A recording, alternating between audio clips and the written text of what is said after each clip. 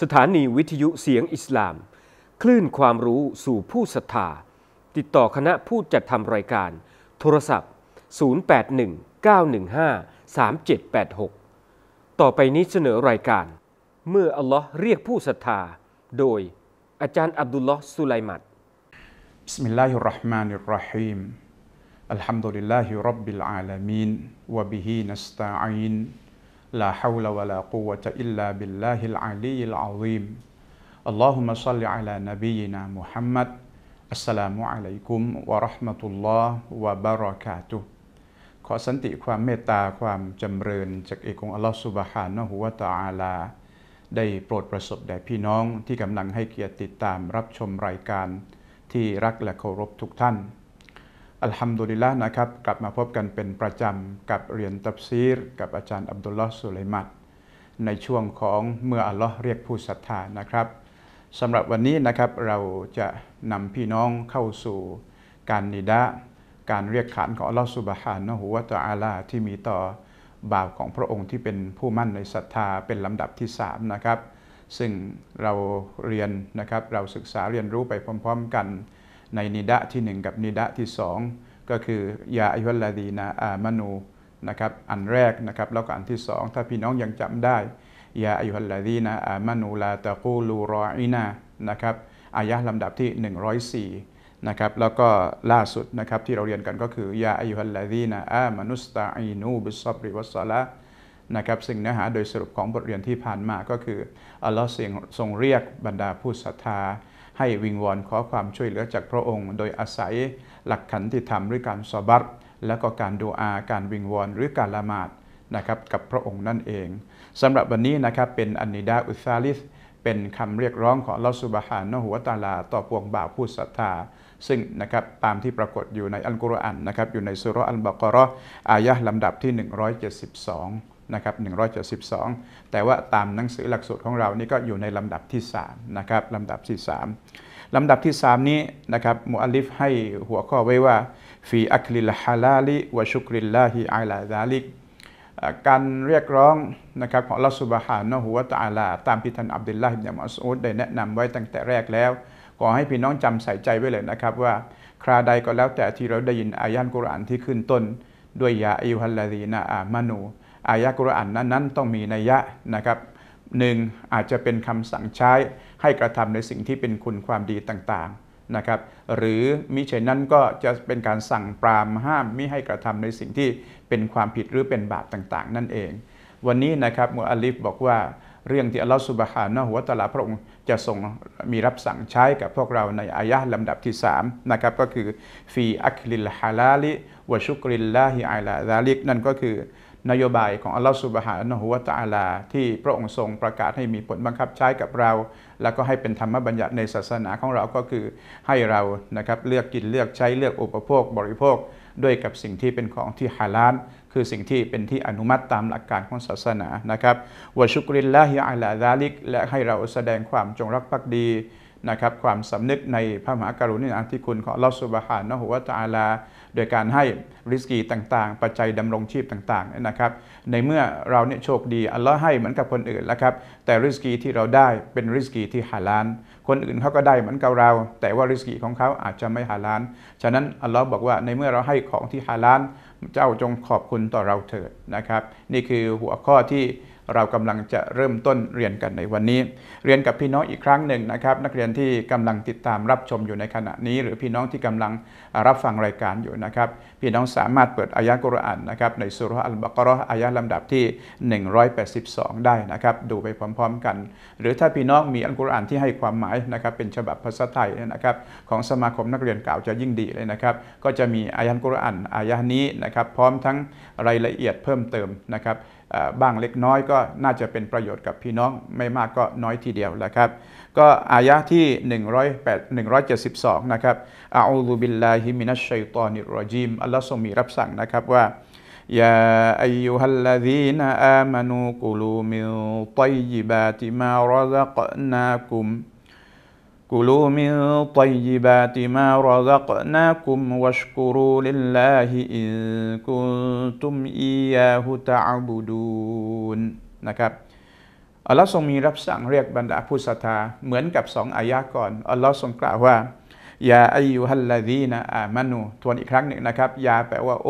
นะครับอายุฮัลลาดีนะอามานูโอบรรดาผู้ที่มั่นในศรัทธาทั้งหลายเอ๋ย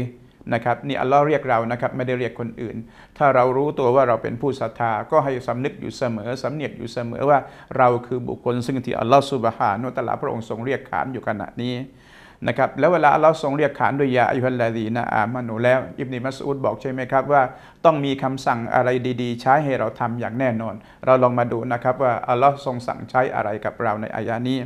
อัลลอฮ์ทรงมีรับสั่งนะครับว่า กูลูมิตยบาติมารอซักนากุมกูลูนี่เป็นกริยาคำสั่งแปลว่า จงกินนะครับจงกินคำว่าเดิมทีคำว่ากูลูนะครับถ้าตามประมวลสัพวิทยาทั่ว ๆ ไปแล้วนะครับบางครั้งนะครับคำว่าคำว่าจงกินให้มีความหมายแปลว่า เชิญกินตามอัธยาศัย แต่คำสั่งคำว่าจงกินตรงนี้ไม่ได้แปลว่าตามอัธยาศัยนะครับ เป็นกิริยาคำสั่ง เพราะโดยปกติแล้วถ้าพี่น้องได้มีโอกาสเรียนวิชาอุซูลุนฟิกนะครับ เวลาเราวิเคราะห์วิเคราะห์ในในศาสตร์ของอุซูลุนฟิกเนี่ยเขาจะหยิบจับหลักฐานที่มีอยู่ในอัลกุรอานหรือในหนังสือ فقه ทั่วๆไปเนี่ยนะครับมาวิเคราะห์ในเชิงของاقتضاء หรือ تخيير ว่ามันจะมีผลบังคับใช้กับเราในลักษณะใช้แบบเข้มงวด หรือใช้แบบส่งเสริม หรือห้ามห้ามแบบเข้มงวดก็คือحرامนะครับแล้วก็ห้ามแบบแบบแบบแบบปรามก็คือ พียงแค่ไม่ไม่แนะนำให้ทำมันก็คือمكروه หรือ تخيير ก็คือ مباح ให้เสรีในการตัดสินใจเลือกปฏิบัติคำว่าจงกินจงดื่ม ซึ่งโดยปกติแล้วเนี่ยนะครับไม่ได้มีนะครับว่าวาญิบต้องกินหรือว่าฮารามกิน เพราะอันนี้มีหุกกลมเป็นมูบ้า กูรู้ว่าชรบูวะละตุสรีฟูเชิญกินเชิญดื่มตามอัธยาศัยเลย แต่พอมาในอัลกุรอานอายานี้คำสั่งเนี่ยนะครับที่กูรูเนี่ยมีความมีมีนัยยะในเชิงอะไรครับในเชิงคำสั่งที่เงียบเก็มงวด เพราะอัลลอฮฺสุบฮานะหัวตะลาพระองค์ทรงบอกว่ากูรูจงกินกินอะไรครับกูรูมินตยบาติมารอซักนาคุม ให้พวกท่านทั้งหลายกินนะครับหรือเลือกกินแต่เฉพาะนะครับแต่เฉพาะที่มินตยบาต จากสิ่งที่ดีที่มีประโยชน์ หมายความว่าฮาลาลแล้วก็ไม่ได้ผิดหลักการศาสนาเป็นประโยชน์ไม่มีโทษ มารอซักนาคุมในบรรดาสรรพสิ่งทั้งหลายที่เราได้มอบเป็นปัจจัยอย่างชีพให้แก่พวกท่านทั้งหลาย ฉะนั้นการที่อัลลอฮฺสุบฮานตะลาพระองค์ทรงมีคำสั่งใช้ให้กินของฮาลาลเนี่ยอันนี้มีความหมายมีมี حكم เป็นอะไรครับมี حكم เป็น واجبนะครับเพราะว่าในหลักของأصول الفقهเวลาไปจับหยิบจับหลักฐานมาแล้วนะครับเขาจะเรียกว่ามาวิเคราะห์หลักฐานในเชิงเขาเรียก أدلة الفقه الإجماليةวิเคราะห์หลักฐานของ فقه ในลักษณะเรียกว่าโดยคร่าวๆ โดยสังเขปหรือเบื้องต้นเท่านั้น ก็คือเบื้องต้นก็คือวิเคราะห์มีนัยยะว่าตรงนี้เป็นคำสั่งและลักษณะใดเข้มงวดหรือไม่เข้มงวดนะครับหรือว่าให้เสรีในการปฏิบัติฉะนั้นอายะกุรอานอายะนี้นะครับเป็นไปปรากฏเป็นคำสั่งกูรูเนี่ยนะครับถ้าตาม نحو เขาเรียกอะไรครับตาม صرف เขาเรียกกิริยาคำสั่งفعل أمرเป็นกริยาคำสั่ง الأصل في الأمر يقتضي الوجوبนะครับหรือكل أمر يقتضي الوجوبคำสั่งทุกคำสั่งเบื้องต้นให้สันนิษฐานมีนัยยะว่าเป็นเป็นการบังคับใช้ไว้ก่อน อันนี้คือหลักเดิมเลย ฉะนั้นพอเรามาดูตรงเนี้ยอ๋อนี่ไงอัลลอฮฺสุบฮานตะลาพระองค์ทรงมีบัญชาสั่ง แล้วสั่งตัวเนี้ยมันผูกมันผูกพันนะครับ กับอะไรครับกับสิ่งที่เราจะต้อง เขาเรียกว่าเป็นอะไรเป็นมะมุนของมันก็คือจะเป็นอะไรเป็นของที่เราจะต้องนำมาใช้นำมาปฏิบัติตามคำสั่งตัวนี้ในก็คือสิ่งของที่หรืออาหารการกินที่ฮาลาลนั่นเอง ไม่ใช่ฮาลาลอย่างเดียวนะครับอัลลอฮ์บอกว่ามินตยิบัตจงกิน จงดื่ม จงใช้จงบริโภคแต่เฉพาะสิ่งที่ดีนะครับสิ่งที่ดีฉะนั้นคำว่าดีตรงนี้ดีในมิติทางศาสนาของเรา ในคำสอนของหลักการของศาสนา ในมิติของอะไรครับในเรื่องของสุขภาพร่างกาย มันเกี่ยวข้องทั้งหมดเลย ฉะนั้นจงเลือกกินแต่เฉพาะของดีที่อัลลอฮฺสุบฮานุตาลาพระองค์ทรงประทานให้เป็นริสกี สรุปก็คือจงกินแต่เฉพาะริสกีที่ฮาลาลที่ดีเท่านั้น ริสกีใดที่ได้มาอย่างไม่ดีอย่างไม่ถูกต้องนะครับหรือเป็นอันตรายกับสุขภาพร่างกาย ก็ไม่อนุญาตให้กิน และการไม่อนุญาตนั่นก็เป็นการห้ามแบบเข้มงวดที่เราเรียกว่าฮารอมนะครับเราเรียกว่าฮารอมอาสรุปกับพี่น้องอีกครั้งหนึ่งนะครับอัลลอฮฺสุบฮานตะลาพระองค์ทรงมีรับสั่ง เรียกบรรดาผู้ศรัทธาในในในในครั้งนี้ว่า โอ้บรรดาผู้ศรัทธาทั้งหลายเอ๋ยกูรูมินตอยิบาติมารอซักนาคุม พวกท่านทั้งหลายต้องเลือกต้องต้องเลือกกินเลือกใช้เลือกดื่มนะครับเลือกอุปโภคบริโภค แต่เฉพาะของที่ดีที่ฮาลานที่มีประโยชน์เท่านั้น จากบรรดาสรรพสิ่งทั้งหลายที่มอบให้เป็นปัจจัยเป็นริสกีในการดำรงชีพของพวกท่านทั้งหลาย เสร็จแล้วอัลลอฮฺสุบฮานตะลาพระองค์ทรงมีรับสั่งต่อนะครับว่าวัชกูรูลิลลาฮิ เสร็จแล้วนะเวลาพวกทั้งหลายได้ริสกีที่ฮาลานได้บริโภคของที่ฮาลานได้ดื่มกินของที่ฮาลานได้ใช้ของที่ฮาลานจงจดจำและสำนึกในความกรุณาความเมตตาของอัลลอฮฺสุบฮานะฮุวตาลานะครับทำยังไงอะวัชกูรูลิลละจงขอบคุณจงกตัญญูจงสำนึกในความกรุณาของอัลลอฮฺสุบฮานะฮุวาตาลาเถิด อย่าเนรคุณพระองค์เป็นอันขาด เพราะการความกตัญญูรู้คุณเป็นพื้นฐานของการเป็นคนดี นะครับ คนดีเนี่ยต้องรู้จักอัลลอฮฺสุบฮานะฮุวาตาลา ไม่เนรคุณพระองค์ ไม่ต้องอะไรมากครับเราเองเนี่ยนะครับเราเนี่ยความรู้สึกของเราในในในในสังในบริบทของเราเองเนี่ยนะครับ สมมุตินะว่าผมเนี่ยผมเนี่ยนะครับพี่น้องเนี่ยรับผมไปอุปการะไปเลี้ยงดูปูเสือชุบเลี้ยงผมมาตั้งแต่เล็กแต่น้อยนะครับที่อย่างอย่างที่ผู้ใหญ่เขาบอกตั้งกระเท้าเท่าฝาหอย นะครับชุบเลี้ยงมาส่งเสียมานะครับให้เรียนสามัญเรียนศาสนาจนกระทั่งผมเติบใหญ่มามีอาชีพมีหน้าที่การงาน แต่วันหนึ่งนะครับผมเนรคุณ ผมกระด้างกระเดื่องกับพี่น้องเนี่ยนะครับที่ชุบเลี้ยงผมมานะครับถามว่าพี่น้องพี่น้องจะคิดยังไงกับผม คงจะต้องตะเพิดผมออกจากบ้านแหละครับไม่เลี้ยงดูผมอีกต่อไป เราก็เหมือนกันนะครับ อัลลอฮฺสุบฮานุตะลาพระองค์ทรงชุบเลี้ยงเราให้ริสกีกับเรา และโดยเฉพาะอย่างยิ่งให้แต่เฉพาะริสกีที่ฮาลาลเอาของฮาลาลไปกิน เอาของดีไปกินอัลลอฮ์ให้แต่ของดีที่มีประโยชน์ทั้งหมดเลยที่ฮาลาลให้เรากิน เสร็จแล้วแล้วเรายังจดจำบุญคุณของพระองค์ไม่ได้ในระคุณนะครับ พี่น้องครับคนโบราณเนี่ยเขายังบอกเลยว่า เวลาเราหุงข้าวนะครับ เราหุงข้าวเนี่ยแค่เราเราเทน้ำข้าวนะครับ ใส่กระมัง ใส่กระป๋องแล้วให้ตัวอะไรมันกินเนี่ยนะครับ มันยังจำได้เลยนะครับ มันยังจำบุญคุณของเจ้าของน้ำข้าวได้เลยนะครับพี่น้องเคยเห็นไหมครับเขาเลี้ยงเขาเลี้ยงตัวเนี้ยเขาเลี้ยงด้วยน้ำข้าว ใส่อ่างใส่กระมังตั้งเอาไว้ไม่ได้เลี้ยงของดิบของดีแล้วครับ แค่น้ำข้าวที่ที่รินน้ำทิ้ง คนสมัยก่อนเขารินน้ำทิ้งนะครับ มันยังจำจำเลยครับจำเจ้าของบ้านได้จำเจ้าของน้ำข้าวได้ นะครับเสร็จแล้วทำยังไงครับ เวลามีขโมยขโจรมาเนี่ยนะครับ มันยังเห่าไล่ขโมยขโจรได้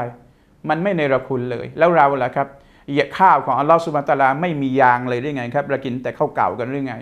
นะครับฉะนั้นที่อัลลอฮฺสุบานตะลาให้เราเนี่ยไม่ได้ให้กินแต่ข้าวเก่าอย่างเดียวนะครับ ให้กับข้าวกับปลาให้อาหารให้น้ำดื่มให้หาการให้ทุกสิ่งทุกอย่างเนี่ยแล้วเป็นของดีเป็นของฮาลาลทั้งหมดเลย แล้วเรายังจำบุญคุณของพระองค์ไม่ได้นี่ถือว่าเราเนรคุณเลยนะครับ ฉะนั้นจะต้องจดจำบุญคุณของอัลลอฮฺสุบฮานะฮูวาตาลา และพร่ำขอบคุณต่อพระองค์นะครับ ทุกขณะจิตของเรา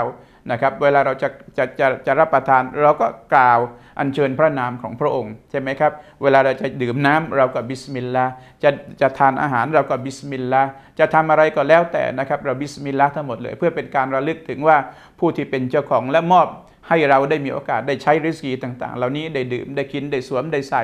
ล้วนแล้วแต่เป็นเป็นอะไรเป็นความกรุณาของอัลลอฮ์ฉะนั้นเวลาเราจะทำอะไรก็แล้วแต่ทำในนามของอัลลอฮ์سبحانه وتعالىเหมือนกับเป็นการขออนุญาต